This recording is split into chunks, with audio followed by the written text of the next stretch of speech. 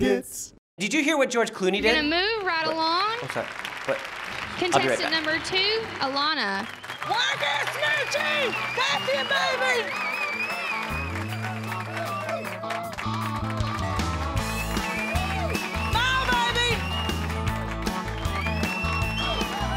I sat down on that bar stool. Johnny said that she'd been here. She left a little message in case I should appear. Shake your butt, baby. I'm sorry. Whew. I ain't gonna be sore tomorrow. Okay. Sorry about that.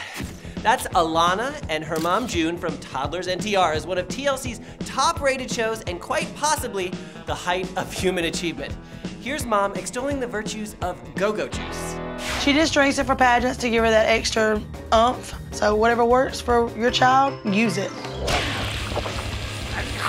Who do you think you are? I am!